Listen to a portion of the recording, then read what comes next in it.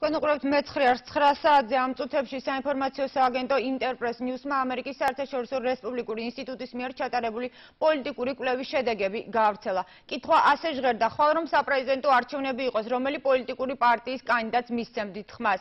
შედეგები ასე გამოიყურება: ნაციონალური მოძრაობის კანდიდატი 37%, ქართული ოცნება 19%, ქრისტიან-დემოკრატიული მოძრაობა გიორგი თარგამაძე 10%.